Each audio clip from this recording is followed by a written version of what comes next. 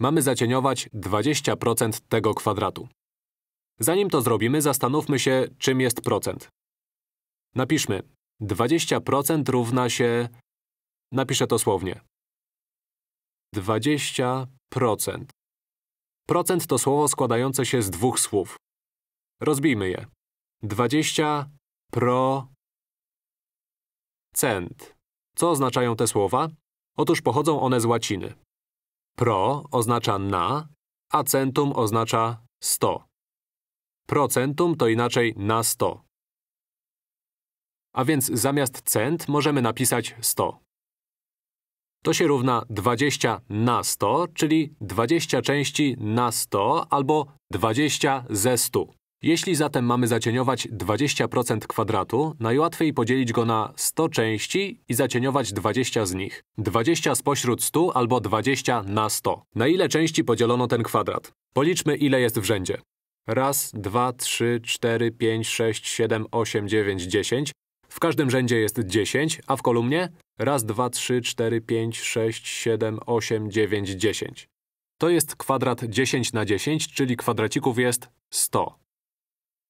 Ten duży kwadrat, który mamy zacieniować, jest już podzielony na 100 części w postaci małych kwadracików. Jeśli chcemy zacieniować 20% z niego, to musimy zacieniować 20 spośród każdych 100 części, na które jest podzielony.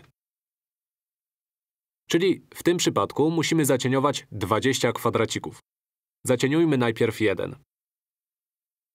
Właśnie zacieniowałem jeden z kwadracików. Wszystkich jest 100, ja zacieniowałem 1, a zatem zacieniowałem 1% dużego kwadratu.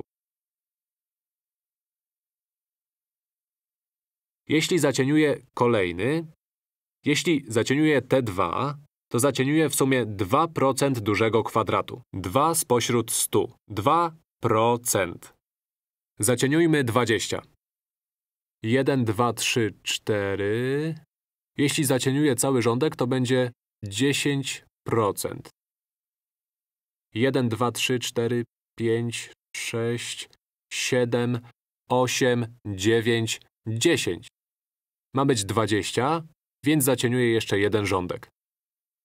Wtedy w sumie zacieniowane będzie 20 spośród 100 kwadracików. Powtórzę dla jasności. Duży kwadrat został podzielony na 100 równych części, a ja zacieniowałem 20 spośród nich, więc zacieniowałem 20% dużego kwadratu.